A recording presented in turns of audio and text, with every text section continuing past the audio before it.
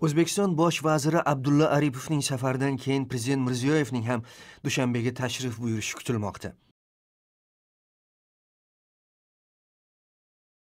Abdulla aripov tojikiston prezidenti emomali rahmon bilan uchrashdi. Har ikki hukumat vakillari iqtisodiy va tijoriy masalalarni ham ko'rib chiqishdi. Islom karimovning o'limidan keyingi vaqt ichida ikki mamlakat orasidagi munosabatlar kutilmaganda iliqlashdi. Bordi keldi boshlandi. Ikki mamlakat o'rtasidagi munosabatlar o'tgan 20 yil ichida o'ta yomonlashgan va bunga suv zaxiralaridan foydalanish masalasi ham sabab ekanligi aytilardi. O'zbekiston tamom nuqoti marziy xuda ba tojikiston minkori kard o'zbekiston tojikiston bilan chegaralarga minalar joylashtirdi.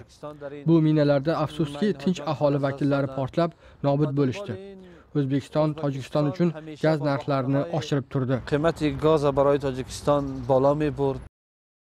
prezident mirziyoyevning atigi bir yildan ortiqroq vaqt davomida qudratda bo'lgan davrda esa ikki mamlakat o'rtasidagi munosabatlar misli ko'rilmagan darajada iliqlashdi.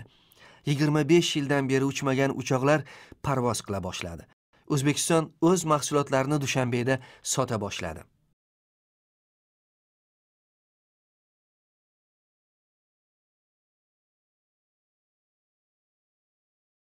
ду сол пеш тасаввури ин ки ширкатҳои худравсозии ӯзбекистон дар икки йил аввал ҳам душанбеда o'zbekistonning mana bu kabi savdo tijoriy hozirligini tasavvur qilish mumkin emas edi. Bugun bu hayotiy haqiqatga aylangan. 6 oy ichida mana bu avtosalon 160 dona o'zbek mashinasini sotdi. Ammo chegaralar hamon yopiq. Ikki mamlakat o'rtasida viza tizimi mavjud. Rahbarlar bu mushkul masalani ham hal qilishda katta qadam qo'yilganini aytishmoqda.